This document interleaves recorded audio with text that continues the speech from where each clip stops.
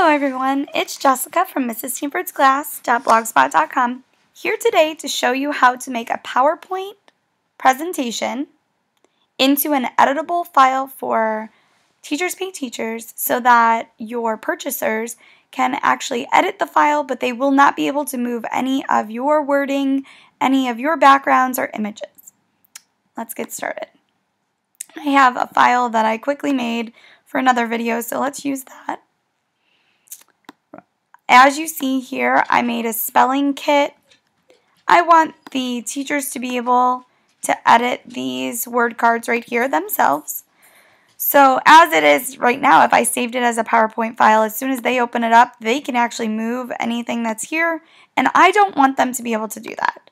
Because if I had an image from somebody that I purchased it through, that would be a big no-no because that way anybody that downloaded your file could just click and save that file and that would be against everyone's terms of use. So let me show you what you would do. All you're going to do is you're going to go up to File, Save As, going to go to Options, going to make sure your Save Every Slide button is checked. I like to save my um, pictures as 300 dpi to make sure that they're crystal clear. Click OK then you're going to change this format option to an image file. You can do JPEG, PNG, GIF, BMP. I like PNG. It makes it a smaller image file, but they're still crystal clear, and they're easy to stack. So I'm going to go PNG. I'm going to save this as weekly spelling words onto my desktop so it's easy to find and make sure that that format is PNG. Hit save. It's going to save all three of these slides as pictures. And then I'm going to open a new PowerPoint file and I'm simply going to insert those as backgrounds.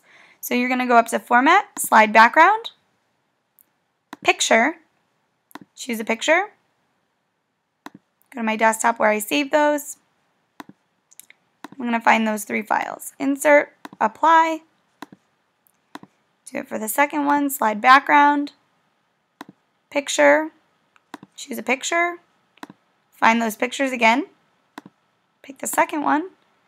Yes, this would be tedious if you had numerous pages, but I can tell you your purchasers are going to appreciate that you have made this file editable for them so that they can format it in any way that they choose and slide 3. Insert and apply.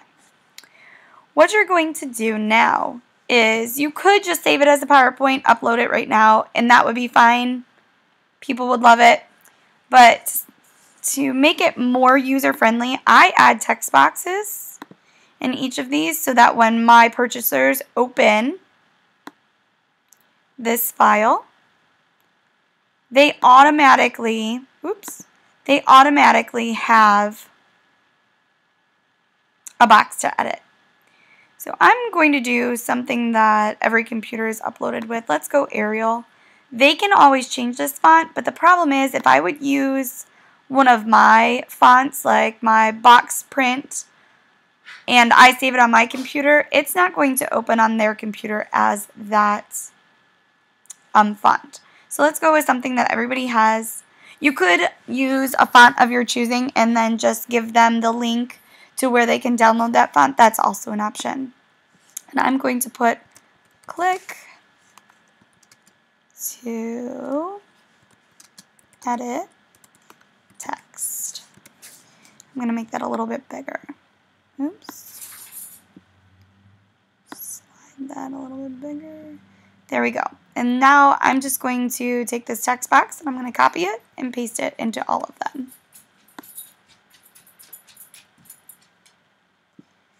Excuse my OCD, I have to make sure everything's lined up.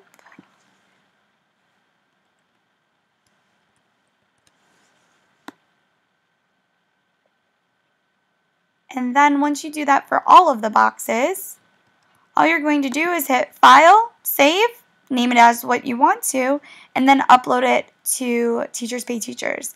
Like I said, these are images. They can't edit any of the wording that you don't want them to edit.